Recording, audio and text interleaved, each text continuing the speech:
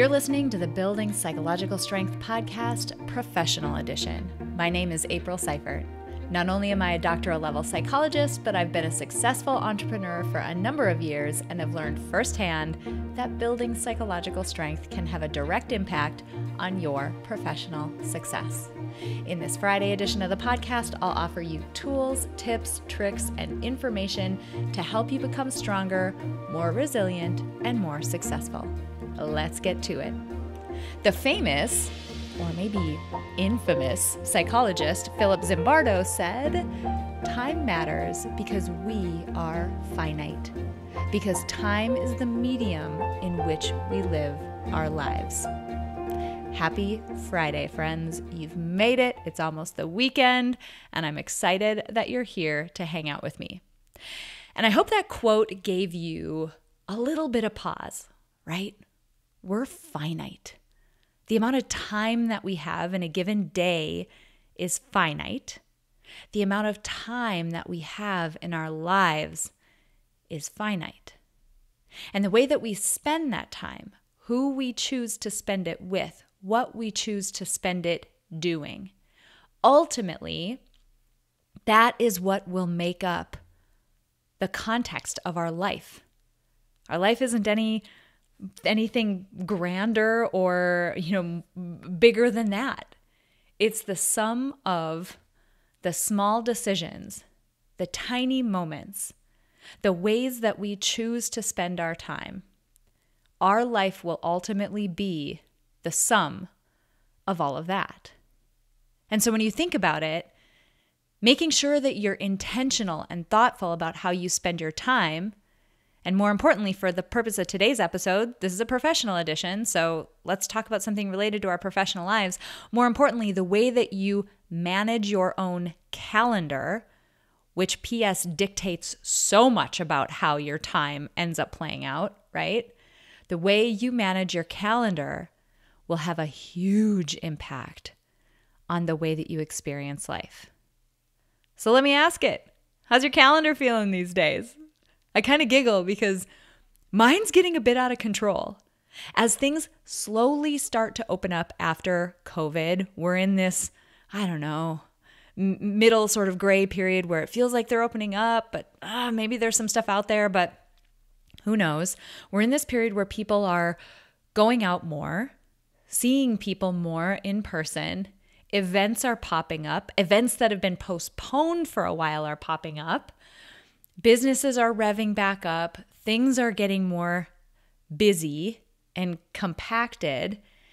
And what I'm feeling is that hectic pace slowly starting to creep back in, or maybe not so slowly for some of you. So I want you to think about that. How is your calendar feeling these days? Because today I'm going to give you five plus a bonus one for the entrepreneurs out there. So, six if you're an entrepreneur, five if you're a professional person of any sort. Five hacks to help you manage your calendar. We're doing a little life design today. So, hacks that can help you design a better calendar slash time experience. I mean, one of the worst things that I've noticed is well, it's two things. One, Sometimes the way that we spend our time tends to be very reactive or unintentional. It tends to be dictated by other people, other people's goals, other people's boundaries. We tend to bend to other people and their needs extremely easily. And then the second piece of this, or maybe even just the flip side of the same coin, is that have you ever had the experience where you look at your calendar and I read this in a book one time and I just love this description. It looks like time confetti. There's just like poof, like little blurbs of time everywhere, but none of them are a chunk that would allow you to do anything meaningful. Or maybe you're in the experience where you're spending a lot of time doing things that uh, aren't moving you closer to your goals or aren't aligned with your values professionally. If any of that applies to you, today, like I said, I'm going to give you five calendar hacks that will help you move in the direction of getting control of your calendar. This isn't going to be an over the overnight thing. This isn't going to clear up every possible thing. But wow, if you can implement just a few of these, I promise you your calendar will be much more under your control and it will be much more of an intentional, sane place to be. And who doesn't want that? All right, so here we go. Let's dive into them. Five slash six hacks to help you gain control of your calendar. Hack number one. This one's gonna seem obvious, and maybe it's obvious, but the question is are you doing it? Are you scheduling in your work time? And by that, I mean, don't just write it down. If you're in a job where your calendar is kept electronically, especially if other people have access to your calendar, are you booking work time? Or are you booking white space in your calendar? Because if you don't, let's think about this. Whose who has more invested in you achieving your goals or getting your work done than you? Anybody? You think your coworkers care as much about you getting your work done as you do? You think your coworkers care as much? Maybe they care. That's great. People are empathetic. I believe people are good at their core. But do you think they care as much as you do? Do you think they worry as much about that anxiety feeling you feel at the end of the day when you haven't gotten done what you needed to get done and you're trying to figure out how to fit it in before you go to bed? Do they care as much about you feeling that feeling as you do? The answer is certainly no. And if you don't schedule your own work time in on your calendar, especially if you're in a situation where other people can book things on your calendar just at a whim, you will never have, likely, the time you need to complete your work. I'm not saying block off your entire day and and I I need you to be a little bit flexible here. I need you to think about the context of the environment that you're in. Think about your culture at your work. Maybe you can't book giant, you know, 4-hour blocks of time. But can you block an hour? Can you block an hour here and there? I would argue, yeah. And if you're saying, no, there's no way that would fly, I can't do it, I can't do it, try it. Book one hour. Just try it. Book it as a private meeting where you don't allow anybody else to see the details of it. Just try it, see what happens. And if somebody asks, just say, oh, sorry, yeah, I have something at that time, but can you? And give them an alternate. See what happens. Run this as an experiment. But tip number one book your work time on your calendar, especially electronically. Number two, if you are, this one is probably more useful for people who are in entrepreneurial setting, but it can also be useful for people who are in more traditional jobs.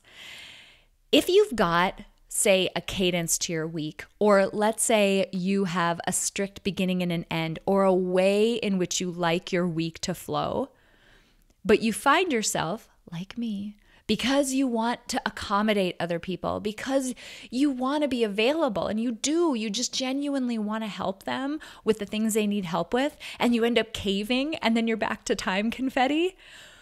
Consider using technology to help you out. There are tools like Dubsado, like Calendly, like Acuity that will help you set rules and set boundaries on your calendar via a set of links that you can send out to people so that they can book on your calendar. Consider thinking about what are those boundaries? What are those rules? In a perfect world, if I set rules and I was going to follow them, what would it look like to create a more sane calendar? Think about that and then use technology to help you implement those rules, to basically save you from yourself save you from being the person who wants to be there for everyone else and gives and gives and gives, but doesn't hold back any time to get their own stuff done. Technology can be a savior. I use these links. I use a tool called Dubsado. I absolutely adore it. I use those links to help me keep my own boundaries because I know I will break them. So that's tip number two use technology to help you set and keep your boundaries, especially if you're the type of person who tends to bend to other people. Okay, third, You know, when you're going back and forth with somebody, you're going to schedule a meeting, maybe it's a networking thing or something. Uh, and this is a person who doesn't have access to your calendar. So this isn't a coworker. This is typically it happens to me in a networking setting. I'm going to go connect with somebody and we're going to, you know, talk about what's up in our lives these days. You kind of go back and forth, right? Oh, you know, like, yeah, let's get together and uh, let me know what works for you. And here's some, you know, whatever. And you're kind of going back and forth trying to find a time. Now, this is one of those times where, have you ever heard in negotiation, the person who speaks first, the person who gives a price first, is the person who loses? Calendaring is the opposite. Whoever suggests a time first wins because you can look at your calendar sanely without the pressure of anything else, and you can find a set of times that work for you based on the boundaries and the flow and the needs that you have and the work time that you need. If at all possible, always, always, always, tip number three, always, always, always, be the first person to suggest a time or a set of times. This means that you can find a time that's more optimal on your own calendar while still being able to meet with that person, while still giving them a set of options, but you're giving them options within the boundaries of how you have designed your week. So, Consider being, or uh, don't even consider, just do it always. Be the person who suggests a time first and suggest times that fit within the bounds of that design. Your very well designed calendar, your calendar by design. Be the first person to suggest a set of times.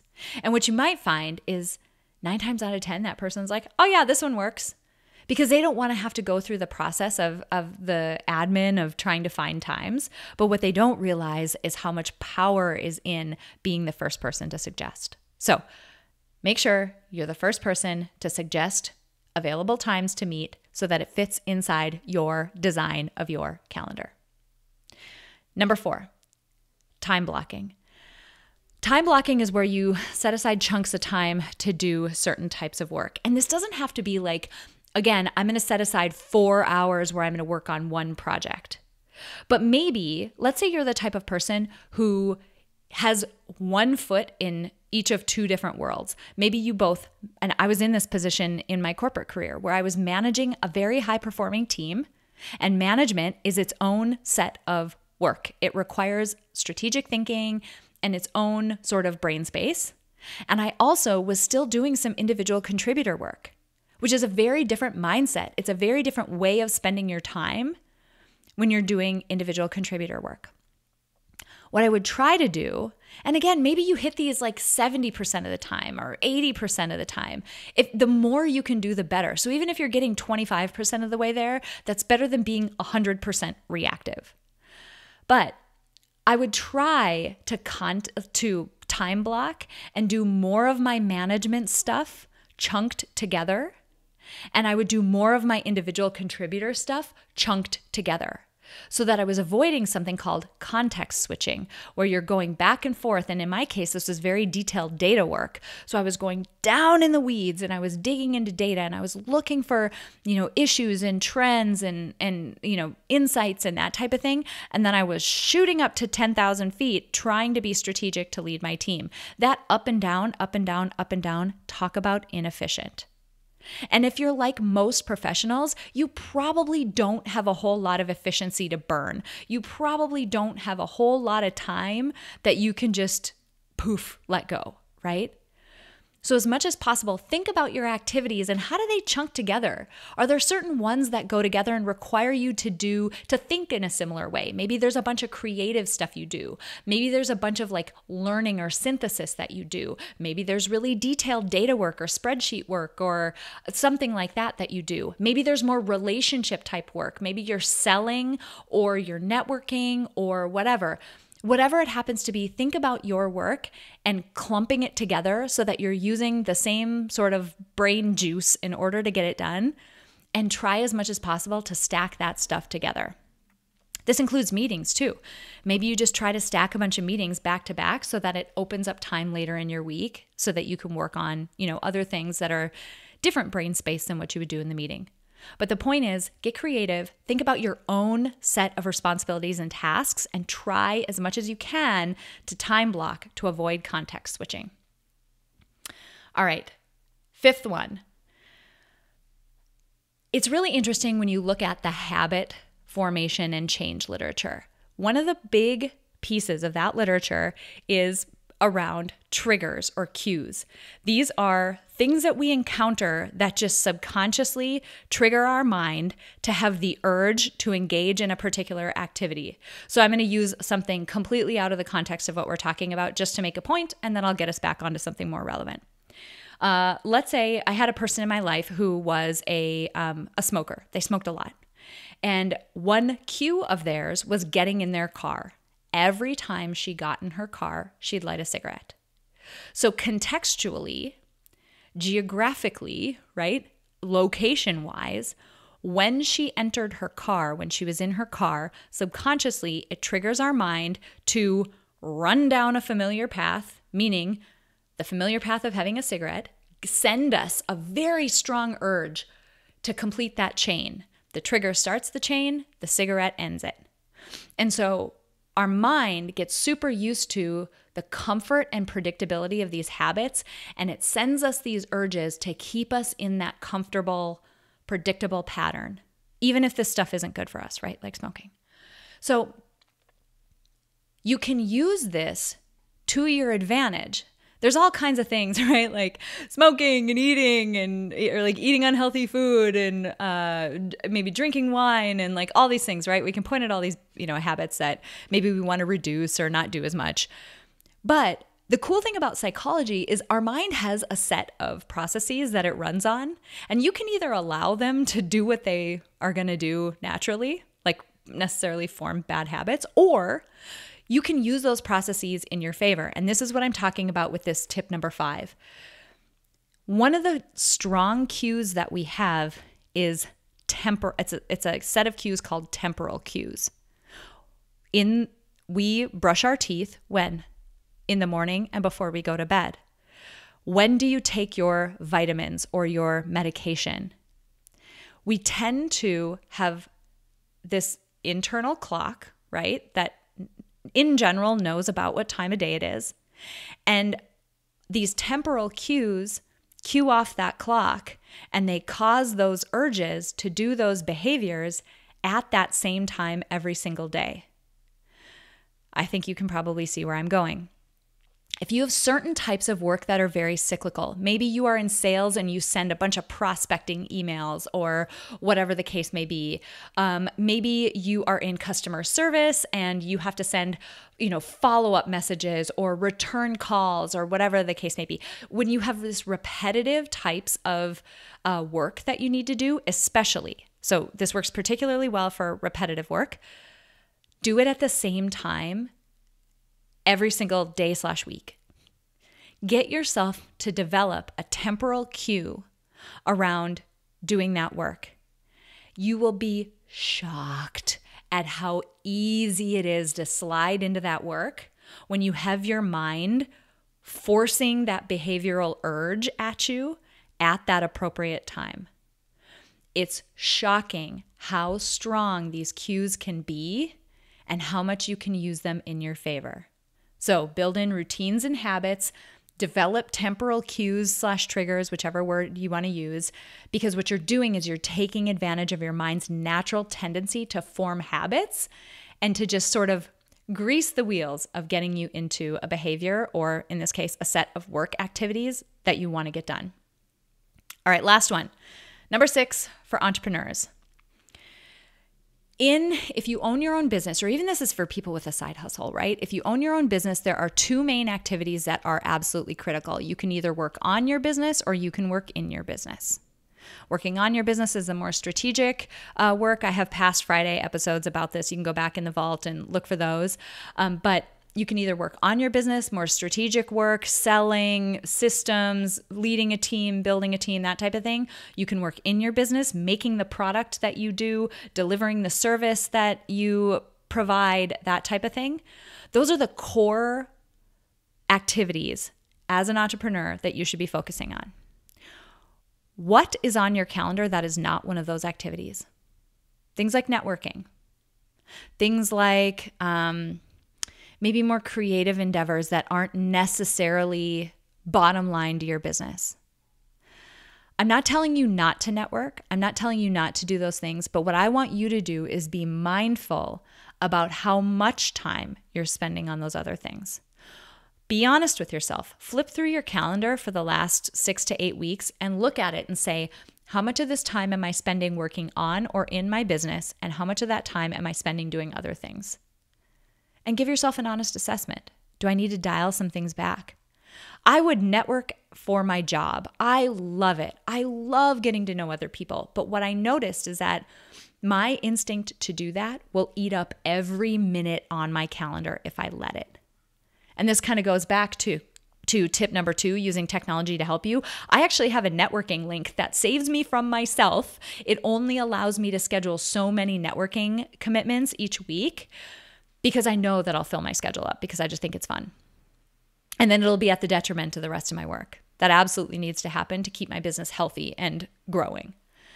So that's just a little tip for the entrepreneurs. I'm going to do a quick run through these five slash six tips again, just so that you've got them all in one place. Number one, schedule your work time, get it on your calendar. Number two, use technology to help you keep and set your own boundaries, save you from yourself. Number three, always be the first person to suggest a time to meet. Number four, time block and try to avoid context switching. Number five, build in routines and habits. Try to create temporal cues and triggers to help grease the wheels. And number six, for the entrepreneurs out there, limit the time that you are not spending working on or in your business. Limit the time that you're spending working on other things. All right. I super hope that was helpful.